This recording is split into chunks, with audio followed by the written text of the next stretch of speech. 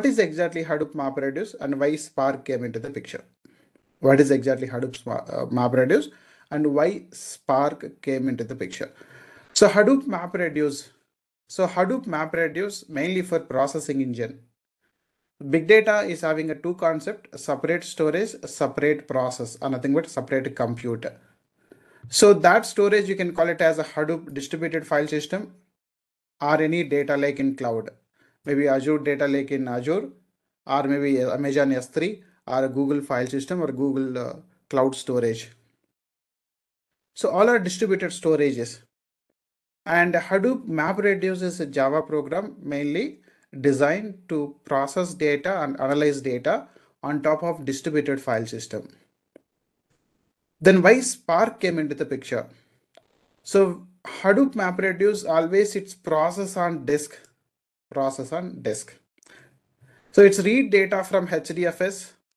Then if you are doing any transformations like area operations, every operation it's read from disk write into disk. It's read from disk write into disk.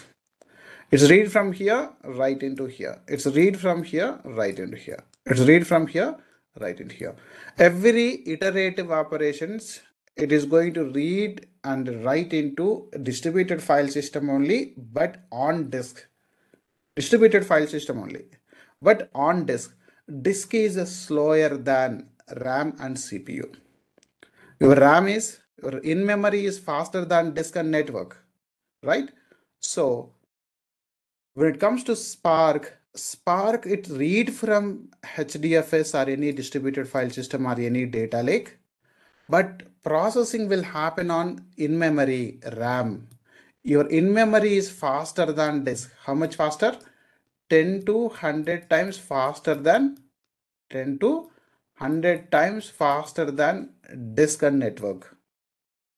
Your in-memory faster than disk and network. This is one of the primary reason they introduced. And another reasons now why we are mainly looking at cloud level Spark means there are plenty of reasons are available, plenty of benefits are available. So when it comes to key differences, when you compare with the Spark and uh, Hadoop MapReduce, one is a speed because Spark process on in-memory, Hadoop MapReduce process on disk.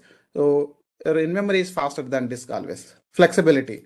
So Spark is mainly general purpose compute cluster computing is nothing but distributed in-memory parallel processing engine.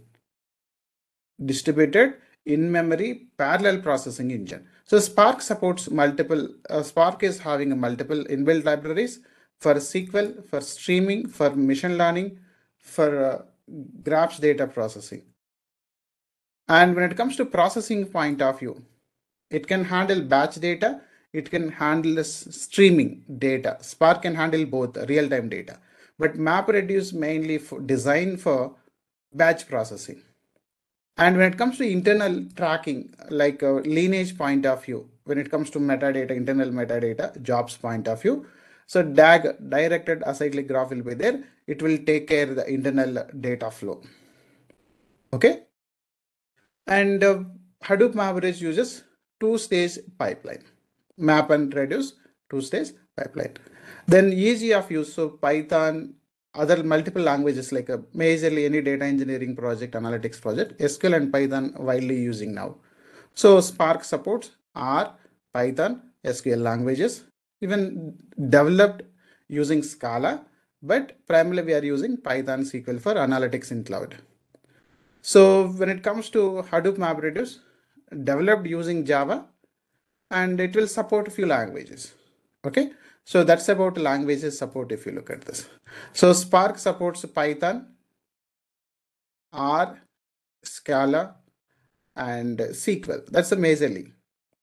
Okay, when it comes to cloud, R and Python and SQL is widely used in cloud analytics projects, data engineering projects. Okay, data engineering means SQL and Python.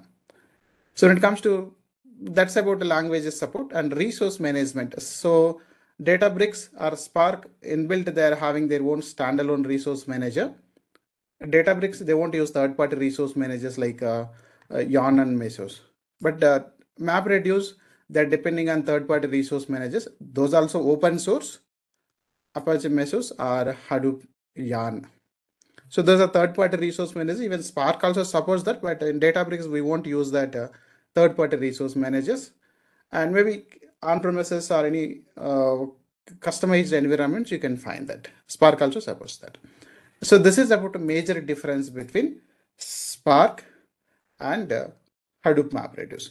Uh, primarily, if you concentrate on majorly Spark features, these are in-memory distributed parallel processing, RDD, resilient distributed data process, okay, resilient distributed data sets, mainly distributed data processing point of view, inbuilt library for machine learning, SQL, and uh, data uh, data structured streaming and SQL and uh, machine learning. And DAG is manages internal architecture and metadata process, internal process point of view, and support multiple languages, interactive shell.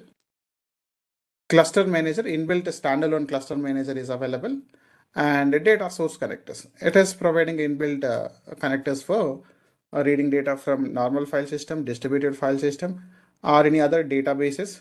So ODBC, JDBC kind of databases which you can read and write data into databases as well. That's the flexibility.